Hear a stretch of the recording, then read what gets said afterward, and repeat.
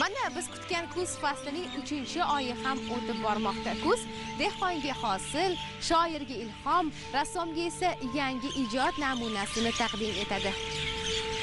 Bilamizki e, kuz fasli bu yil sal iliqroq keldi. Oldingi yillarga nisbatan solishtirganda. Dehqonchilikda eng asosiy omil bu ob havo hisoblanadi. Ob havo bir yili bunday kelsa bir yili boshqacha keladi. Bir yili yog'ingarchilikli kelsa bir yili quruqchilik bilan keladi. Lekin yana bitta eng quvonarli narsa uchinchi yili hosil zo'r kelishi mumkin va birinchi ikkinchi yildagi o'sha yo'qotishlarni qoplab olishimiz ham mumkin.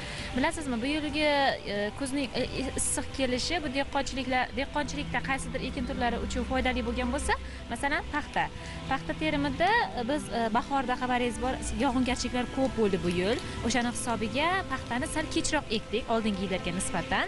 Bu esa kuzda yig'ishtirish e, yig'im terim faslida sal kechroq boshlashimiz ham to'g'ri keldi. Kuzning esa iliq bo'lib turganligi quyoshli bo'lib turganligi bu o'sha paxtalarimizni yana ham ochilib ko'proq hosil berishiga bir yaxshi ta'sirini ko'rsatdi. Bu ham o'ziga xos bir har bitta narsada hikmat bor deganda e, bu ham bir o'ziga xos bizlar uchun xursandchilik bo'ldi. Lekin yana bitta jihati bor. Masalan e, suvda o'sadigan sholi yoki bo'lmasam bug'doylarni olib qaraydigan bo'lsak bu ekin turlari uchun kuzning issiq kelganligi e, sal e, bir hosilga ta'sir qiladi. Ya'ni o'sha sholilarni erta bo'choqlab ketishiga olib kelishi mumkin bu esa hosilni yerga to'kilib ketishiga sabab bo'lishi mumkin. Bu jihatdan olib qaraydigan bo'lsak kuz faslini iliq kelganligi sal bo'lsa dehqonchilikka ozgina zarar yetkazib yetkazadi desam mubolag'a bo'lmaydi mhm. bugun quyosh o'z tafti nafaqat qalbimizni balki jismimizni ham ilitishi mumkin ertaga esa birdaniga sovuq tushib yomg'ir quyib yuboradi kuzning mana shunday aldamchi ob havosida o'zbekiston respublikasi gidrometeorologiya xizmati markazi ma'lumotlariga tayanamiz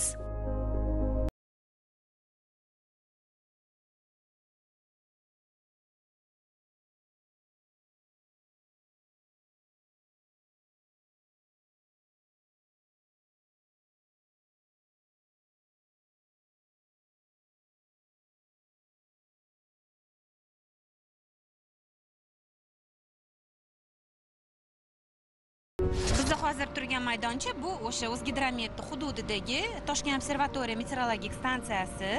O'zi bunaqa maydonchalardan e, o'zbekiston hududi bo'yicha mana har bitta viloyatda bizani e, gidrometeorologiya boshqarmamizda bor. Ana shu e, boshqarmalar tarkibiga ana shu mana shunaqa meteo maydonchalar kiradi. Har bitta viloyatda bor. Mana shu maydonchada mana havoni harorati havoni bosimi shamolni yo'nalishi tezligi yog'inlar miqdori mana siz ko'rib turgan mana bu panjara orqasida tuproqni turli chuqurliklardagi e, harorati o'lchanadi.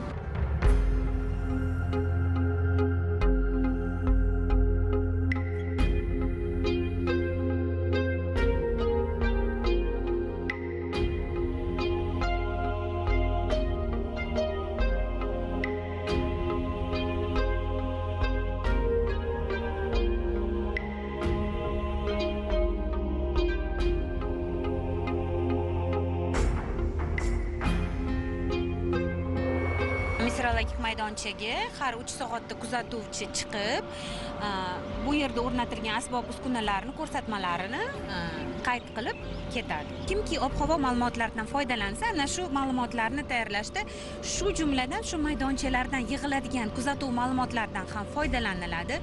Undan tashqari ya'ni yerni sun'iy yo'ldoshlaridan olingan ma'lumotlar keng massivdagi yana axborot manbalari bo'ladi.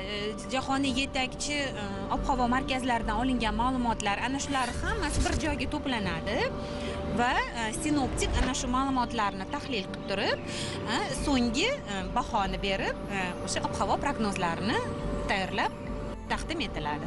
E'tibor berdik bu yilgi kuz ancha iliq keldi. Boshqa yillardagiga nisbatan bu yilgi kuz boshlanish mana sentyabr oyidan boshlab kuz faslidek kirib keldi. Chunki sentyabr ilk ilk kunlarda mana yog'ingarchilik bo'ldi sovuq tushdi. Umuman olganda e, kuz fasli e, o'zbekistonda e, turli tuman. Masalan sentyabr oyi yozni davomi deb aytsak ham bo'ladi. Oktyabrda kuz fasli uncha muncha bilinadi havo harorati pasayadi. Lekin mana bu yilgi oktyabr oladigan bo'lsak nisbatan quruq bo'ldi.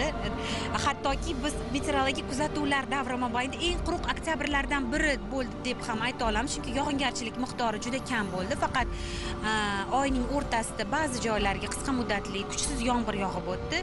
Albatta bunday quruq oktyabr umuman olganda o'zbekiston iqlimi uchun u darajada e, noodatiy hol emas. Lekin e, e'tiborli joyi shundaki bunday quruq oktyabrlar e, tez tez takrorlanib turadigan bo'lib qoldi. Oldin to'rt yil besh yilda bir marta mana shu oy shunday yog'ingarchiliksiz quruq kelsa mana ikki minginchi yillardan boshlab uch yilda bir marta ana shunday hodisa kuzatilmoqda. Oktyabr oyida yog'ingarchilikning kam bo'lishi. Albatta noyabr kuz faslining oxirgi oyi e, oktyabrga qaraganda e, nisbatan salqin besh yetti darajaga e, oktyabr haroratidan farq qiladi. Yog'ingarchiliklar miqdori ham oktyabrga nisbatan ko'p va noyabr oyida keskin ob havo o'zgarishlari kuzatiladi. O'zbekistondagi noyabr oylariga qaraydigan bo'lsak harorat kunduzi o'n sakkiz yigirma uch daraja iliqdan sakkiz o'n daraja iliqqacha ba'zida undan ham past o'rtasidagi harorat esa uch besh daraja iliqdan hattoki nol darajagacha sovuqqacha shimoliy e, tumanlarda esa hattoki ilk sovuq tushishi ayozlar ham kuzatilishi mumkin. Ko'rib turganingizdek mana turli e, e, asbob uskunalar o'rnatilgan. Mana mana bu taxta budka deb aytiladi bularni ichida samopisец deb aytiladi ya'ni bular avtomatik tarzda o'sha havoni parametrlarini qayd etib turib yozib borishadi. Va buni bizning kuzatuvchilarimiz chiqib ana shuni kuzatib shu ustiga qaydlarni ular o'zligisiga yozib asboblarni tekshirib ana shunday qilib turishadi. Bu e, e, shovqin solayotgan ya'ni havo yig'adi bu. Biz e, havoning shu atmosfera havosi ifloslanishi monitoringi bilan shug'ullanamiz. Bu o'zgidrometning vazifalaridan biri ya'ni atmosfera tabiiy suvlar tuproq ifloslanishi monitoringini amalga oshiradi. Ana shu monitoring natijalari qanday bo'lyapti hozir? Atmosfera havosi monitoringi bilan shug'ullanadi laboratoriyalar bor ya'ni atmosfera havosidan namunalar olinadi uh, va uh, atmosfera tarkibida uh, zararli moddalarning tarkibi miqdori tekshiriladi. Umuman o'zbekiston bo'yicha shu turli viloyatlarda statsionar atmosferani tekshirish punktlari bor laboratoriyalari bor. Ana shu ma'lumotlar asosida mana biz tahlil qilib ya'ni atmosferaning e, zararli moddalar ularning qanchaligini shu mutaxassislarimiz ko'rib borishadi. O'sha o'zgidrometning asosiy vazifasi shu monitoring va bu bu ma'lumotlar hammasi yig'ilib o'sha davlat ekologiya e, qo'mitasiga taqdim etiladi atmosferani ifloslanishiga turli xil omillar hattoki meteorologik omillar ham ta'sir qiladida masalan bir joydan zararli moddalar to'plansa shamol bo'lsa o'shalarni olib ketishi mumkin yoki bu moddalar tarqaladi yoki meteorologik shamolsizlik bo'lsa masalan bu moddalar bir joyda to'planib qolishi mumkin. Bu to'g'risida umuman e, nima deydi?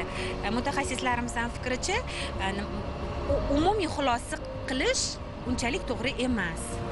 Oltin kuz o'z ortidan kumush qishni yetaklab keladi. Siz esa beparvo o'z yumushlaringiz bilan band bo'laverasiz. To'xtang.